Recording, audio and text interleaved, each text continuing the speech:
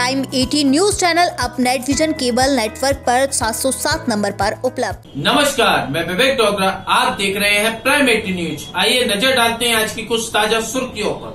आज देश के जो राजनीतिक हालात खास करके भाजपा के जीतने के बाद जो देश के अंदर और बिहार के अंतर्गत जो हमले बढ़े हैं जो वादा किया था सरकार उसको पूरा नहीं किया और फिर वो लोगों को जो लुभा करके गलत ढंग से वोट लिया उसके बाद जो वो आज उत्साह में है लेकिन जनता बिहार के अंतर्गत सूखा की भारी स्थिति है। लोगों के बीच में भीषण जल संकट बना हुआ है पीने तक के लिए कई जिलों में पानी नहीं मिल रहा। पीने तक के लिए कई जिलों के अंतर्गत पानी नहीं मिल रहा, लेकिन सरकार की तरफ़ से प्रयास होना चाहिए सूखा से निपटने के लिए, वो नहीं हो रहा। पूरे बिहार में कानून व्यवस्था की हालत काफ़ी खराब है।